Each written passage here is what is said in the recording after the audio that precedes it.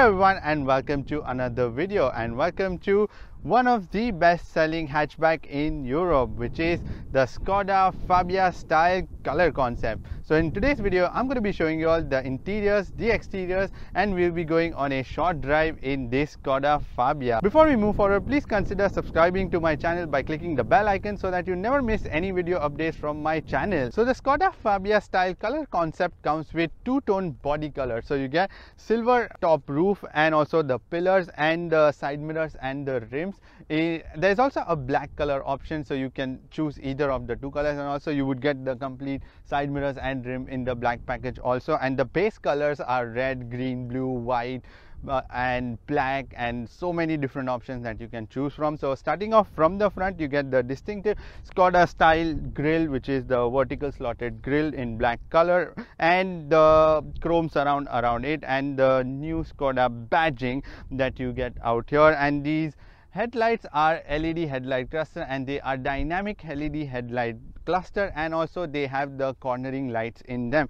At the bottom you would find halogen fog lamps but the styling is very similar to the Skoda lineup. So on the sides, really love the shape of this hatchback. It's such a fun little thing if you see from the side profile.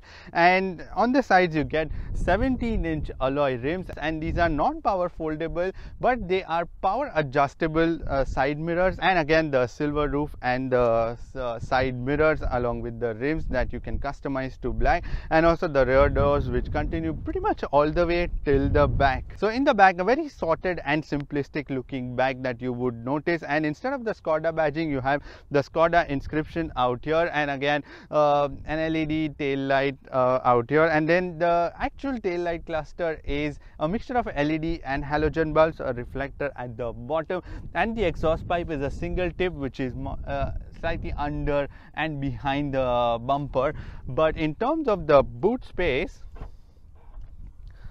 this is where the Skoda Fabia outshines any other hatchback. So you get 330 liters of boot space which is super gigantic and not even that this boot separator is adjustable. So you can remove that and you can put it at the middle layer so as to you know divide the the the area in the inside the boot. And also the seats are foldable in a ratio of 60 is to 40 and they can be folded from right here. Like there's a button given uh, on the seat itself so you can just fold them down. And when you fold those seats down you get 1100 150 liters of boot space. Although the seats don't completely uh, fall down but yet how much ever they fall they are still good enough to give you 1150 uh, liters of boot space. There are also more storage options out here like hooks and you know a strap where you can put maybe a bottle or something. And there are more uh, cubby uh, storage out here as options. And one more cool bit you also get a spare wheel a full size spare wheel which is again your 17 inch spare wheel out here. And so they managed to give you 330 liters of boot space and also the spare wheel that is pretty awesome. Skoda Fabia prioritizes in terms of the sensibility and the usability. So you get uh, normal plastic but then good quality plastics everywhere. So you can feel actually that they are meant to last all the abuse during their entire lifetime of you know using it daily. So you get uh, normal plastic dashboard out here and also the door cards but again good quality plastic even on the sides and out here and then you get this brushed aluminum uh, plastic trim trim to give you the aluminum effect. Now coming to the dashboard, you get two big dials on both the sides, which is again the Skoda design, typical Skoda design, and then a center screen in which you can, you know, change your different options where you can have your vehicle settings that you can see. You can change the audio, you can also have the communications and various other settings that you can scroll through and have a, a look through that screen. So it's a very easy to use screen also.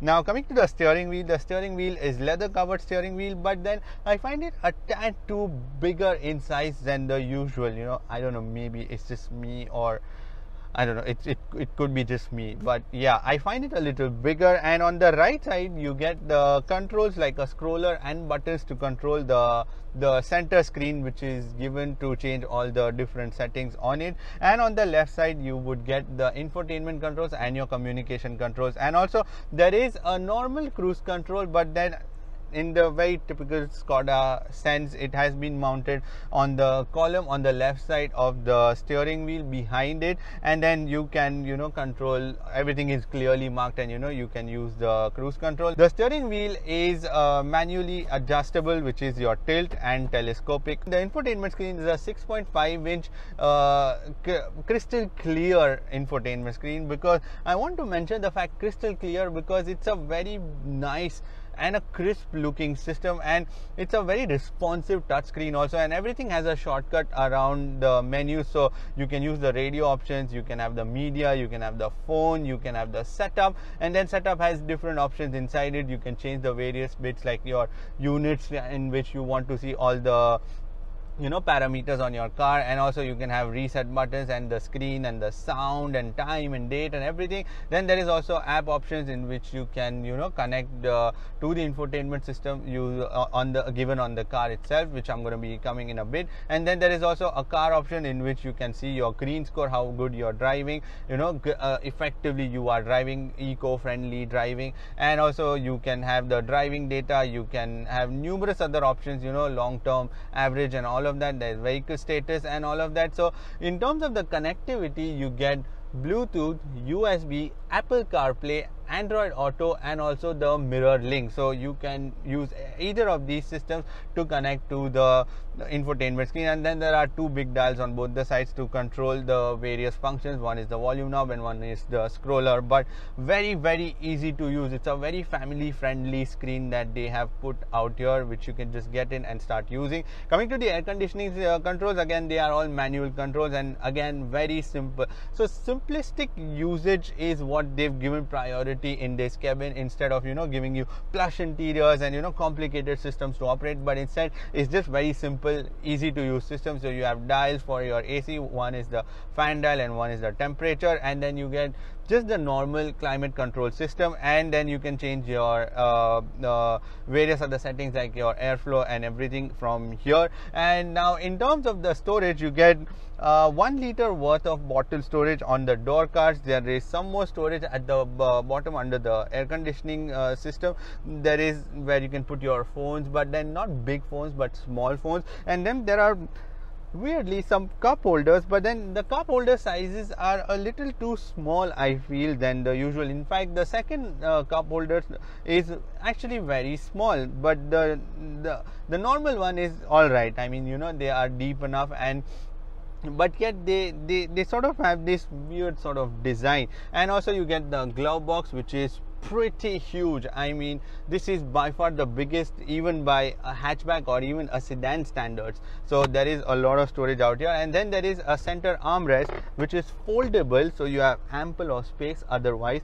But when you don't uh, or when you want to use the armrest there is also one that you can put down. And also there is a bit of storage inside. I mean i've just put a mount camera mount out here but you can make out of you know there is decent amount of storage. You can put your wallet or something out here. There's also storage storage in the rear uh, door cards where you can put half a liter worth of bottle and that is pretty much about it. There is also a glass holder again a glass holder which is pretty rare but given out here. Now coming to the seats these seats are fabric seats again in black color with the white stitching and they are manually adjustable. So they are six way manually adjustable and even the passenger seat is six way manually adjustable but they are pretty broad and they are really comfortable. I've also mentioned before that you know fabric seats are really a good choice because during uh, summer season especially in uae it's a task because leather the seats tend to get really hot. But in this you will never have that sort of problem. So in the front glass you also get a clip to hold your parking ticket. Also notice that the engine start stop button is given out here instead of you know the usual place on the dashboard. So you know where the key would usually be uh, there is like a button given out here but again coming to the dashboard the dashboard is actually a very usable space where you know you can put stuff and you know like your papers or books or anything and then they would just stay there instead of the uh, sort of uh, sloping uh, dashboard where you know everything keeps falling off. Now in the back there is decent amount of leg space like and these uh, these seats are in my driving position so you get about this much of uh, leg space out here also these seats are curving so you get extra leg room. And also there is quite a bit of headroom because this car doesn't slope generally too much so which is why you get a lot of uh, head space. And also there is enough of space under the seats uh, to slide your legs but these seats are actually pretty upright you know instead of a little recline which you would you know find a uh, little comfortable during the longer journeys. But they are like flattish relatively and also the middle seat is pretty flat you know where the third uh, or the middle passenger can easily sit. And also you know there is a bit of a tunnel out here but that's not a too much of a bother. So three people can sit out here but then that will be a bit of a squeeze. But two people can easily sit but it's a very comfortable hatchback that way and again you get fabric seats in the black fabric uh, option and this uh, white stitching as a design but here's one more bit which is you get three headrests even for the middle passenger there is a headrest and also it can drop down and it's not like a fixed one so it's not in your in the driver's way where in the rear view glass. Now coming to the rear view glass actually the rear view glass is a little smaller than the usual which tends to cut off a little bit from the bottom you know the visibility of the rear view. And you get six speaker music system in this car car now in terms of the other storage there is no handrest out here. So it's like a fixed seat which is in a ratio of 60 to 40 there is a small storage out here probably to you know store your keys or something. And then there are two usb ports out here. So in terms of the connectivity or charging you get one usb port and also one 120 watt power socket in the front and two usb ports in the back. So there are plenty of USB ports that way for a tiny little car. Also, there are no AC vents in the back and also no sunroof on this one. So, the Skoda Fabia style color concept comes with a 1.6 liter multi-point fuel injection which is the MPFI four-cylinder petrol engine that produces 109 brake horsepower and it produces 153 newton meters of torque. Now this uh, engine is mated to a 6-speed Tiptronic transmission and it's a front wheel drive car. So coming to the engine straightforward, it um, although the power is less but it's a decent engine let me be honest because it's a naturally aspirated so it's just the the straightforward engine gearbox uh, you know use but uh, the what I find is sometimes while accelerating, the engine lacks that response. You know, when I press the throttle, it takes a little bit to respond. Unless you are in the sport mode then it's a different case. Because in the sport mode the the throttle response is much more faster and you know much more rapid. But in this it's a little it tends to keep, hold back but it wants to gradually accelerate you know and not like very aggressively accelerate. So in that sense it's it's a little on the on the sluggish side i would say. But whenever it's in the sport mode it's a it's a very very aggressive gear changes which i found like you know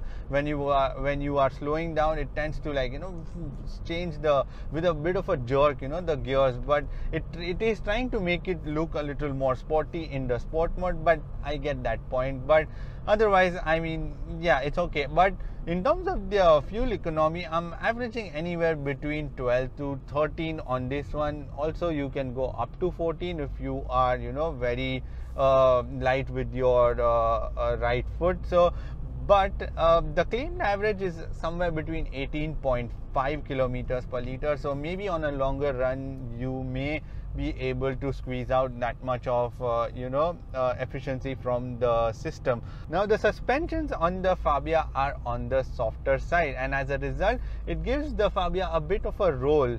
But coming to the steering wheel and the steering response is pretty decent I would say because at higher speeds it seems like you are gliding a little bit you know? It's it's a little flighty sometimes. But the turning radius is pretty small on this one because it's a hatchback and also it's got a very short uh, wheelbase. And as a result of that it can maneuver around tighter corners or also the narrower spaces. Now coming to the braking system the the Skoda Fabia has two front disc brakes and two drums in the back, but the braking action isn't compromised at all. Like, you know, yeah it grips really well so the moment you slam the brake pedal it really goes uh, and you know uh, catches the brakes properly. But coming to the safety systems now you get two front airbags for the driver and the passenger. And then there are also other safety systems like the parking sensor so there is no camera or anything on this one just the parking sensor. And also there is uh, abs there is uh, electronic brake uh, distribution. There is also the vehicle stability in general. And also you get the child isofix point in the uh, both the rear seats but I mean, that is pretty much it in the safety department, but it's a solidly built car, is what I can tell you for sure. Like, you know, Skoda cars are well made and they have supreme build quality. That's a special thing to mention for sure. So the Skoda Fabia style color concept uh, comes in at 66,000 dirhams and the normal Skoda Fabia style comes wherein the there is no two-tone body color but just uh, one single color comes in at 61,000 dirhams. So, I mean, price wise, it's a pretty up there like you know with the competitors. And also it offers quite a bit of sensibility. So what's the final verdict you may ask? Now skoda has given a particular you know uh, attention to you know the usability the sensibility and also the family friendly features instead of you know giving you the interiors which are like you know lush and you know unnecessarily too much inside the the cabin. But instead it's a straightforward easy to use car. So in that sense it's a very everyday and mind you the build quality is extremely well so that you know even the plastics they would last really long. So in that sense it's a pretty sensible little hatchback for sure anyways that is pretty much it for this video. Give it a thumbs up if you like this one. And if you want to subscribe to my channel then click here. And if you want to watch more videos then click here. I shall see you in the next video. Bye bye and take care